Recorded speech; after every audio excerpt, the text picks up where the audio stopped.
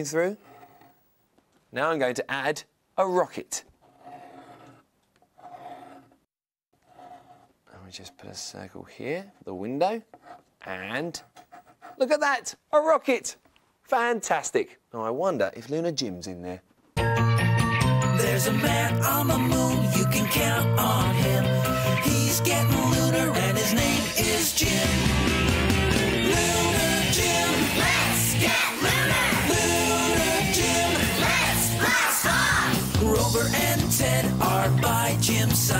There's adventure ahead and a lunarific ride. Lunar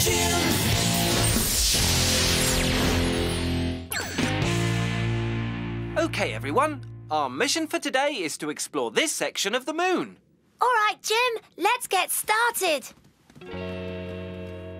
Wow! Look at this round plant, Jim. It's floating in the air. Jumping Jupiter. What a fantastic lunar discovery. And there's blue fruit on it. Let's take some back to Moona Luna. Ah, Ugh. A floating fruit plant doesn't seem that strange to me. I'm sure I could find a much stranger plant.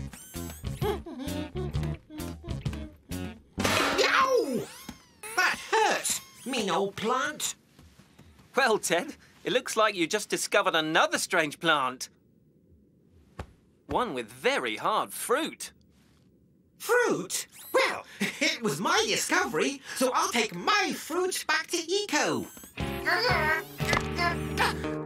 Whoa, it's really heavy. Do you want some help, Ted? No, uh, I'm fine. I think. After all that work, this fruit had better taste really good. Wait a minute. I don't even eat fruit. I'll call Eco to tell him about our fantastic discoveries. Come in, Eco. Hi, Jim. Eco here. Have you found anything interesting? Yes, we have. Lunar fruit. That is interesting. But don't eat any of it. We need to scan it so Pixel can make sure it won't make us sick. Okay, Eco. We'll meet you at Mission Control. How exciting! Oh, Dolores, I know you want to fly, but chickens just can't fly. There you go. I'm off to mission control. I'll be back soon. Keep both feet on the ground. Look at this, Eco. It's the fruit we found from a floating plant. I found this one. It's as heavy as a bag of cement. I'll scan them, and Pixel can tell us if there's anything in the fruit that'll make us sick. There is nothing in this fruit that will make you sick, but it is very bubbly. And now Ted's heavy fruit. This fruit won't make you sick either, but it is quite heavy. All right, who wants to take the first bite? Mmm, delicious. It tastes like strawberry, grape, and banana bubbles. let's go and get some more. And I'll get more of my fruit. It probably tastes even better than bubbles. I bet it tastes like lemon and cabbage pickles. Come on, everyone. Time to gather more fruit. Let's get lunar!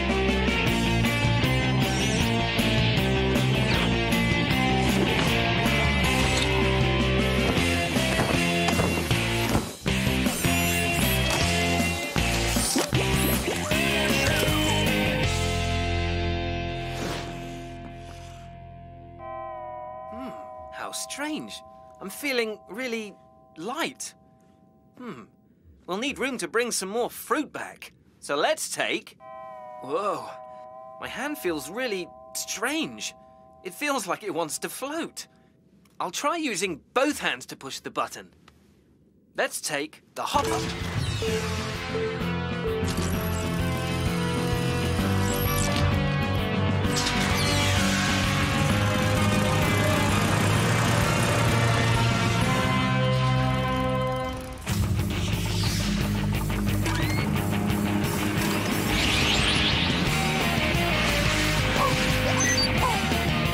Still feel strange, Rover.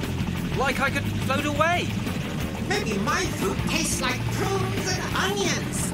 Oh, I hope Eco doesn't take it home before we get back. I'm hungry. I think I'll try some of Ted's fruit. Yum! Tastes like hot fudge peanut butter pancakes with maple syrup. Oh, oh, whoa! I feel as heavy as a giant meteorite. I'd better sit down before I fall down. Oof. Sorry, Daisy. I can't get up. I feel heavier than an elephant stuck in bubble gum. I hope Jim and Ripple come back soon. Okay, the plants are over here.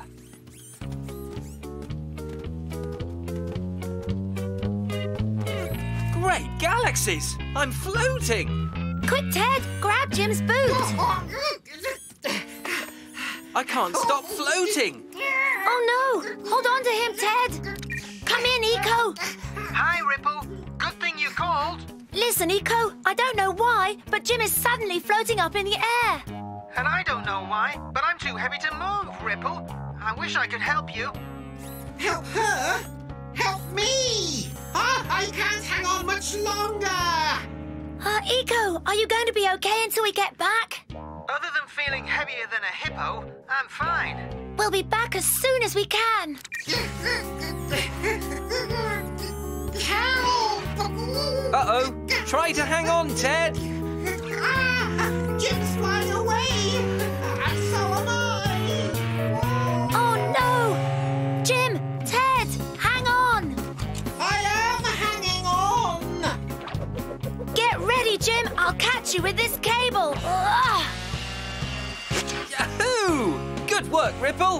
Us in!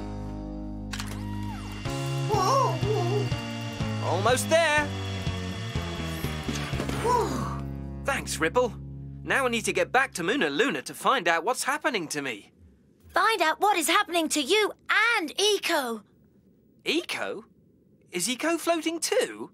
Is he feeling light like me? No, he's not feeling light. He's feeling heavy. There you go, Jim. You're tied down now and won't float up any higher. Thanks, Ripple. Now, how do we stop me from floating? Maybe we could weigh you down with something heavy, Jim. You know, like an anchor. That might get me back on the ground, but I wouldn't be able to move around very well. You're right, Jim. Then you would be too heavy to move, just like me. We need to find out why you're floating, Jim, and why you feel heavy, Eco. Are you hungry, Daisy? Go ahead and eat some of Ted's fruit. It's delicious.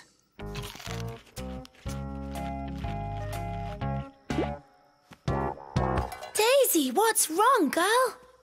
Oh, oh, oh. It's no use. She's too heavy. We can't get her up.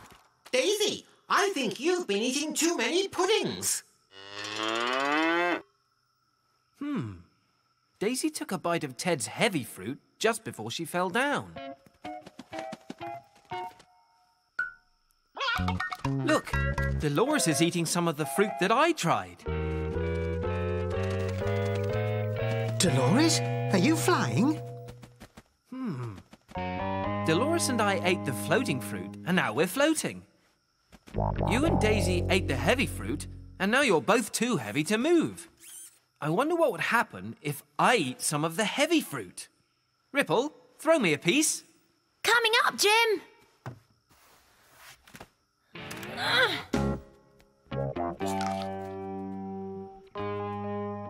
It's working! Ted, give Eco a piece of the other fruit.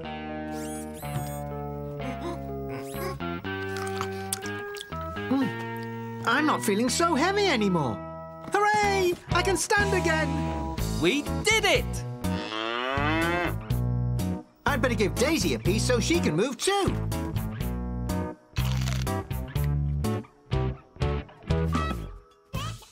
Whoa! Okay, now Dolores. A little piece of the heavy fruit and she'll be back on the ground. Let's wait a bit. I think we should let her fly a little longer. Go, Dolores! That a girl.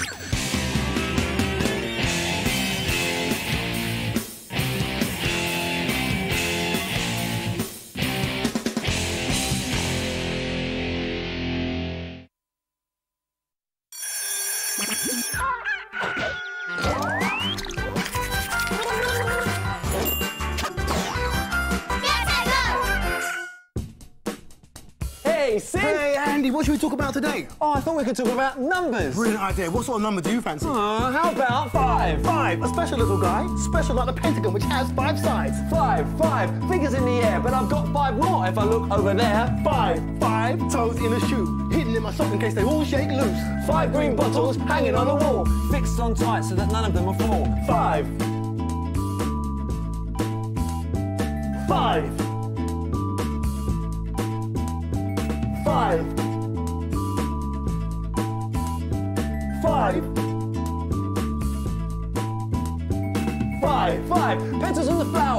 In the sunshine looking for a shower. Five, Five lollies by my ear. I'm sure I counted six. One has disappeared. five, five. To go to school, and then you have a weekend, and that's the rule. Five, Five it's full of surprise. Please don't leave me hanging. You, you gotta give me five. Five. Five. Five. Five.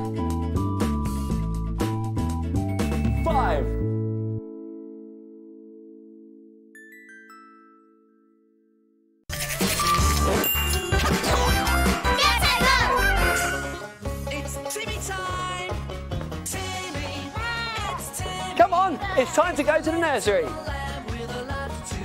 Oh,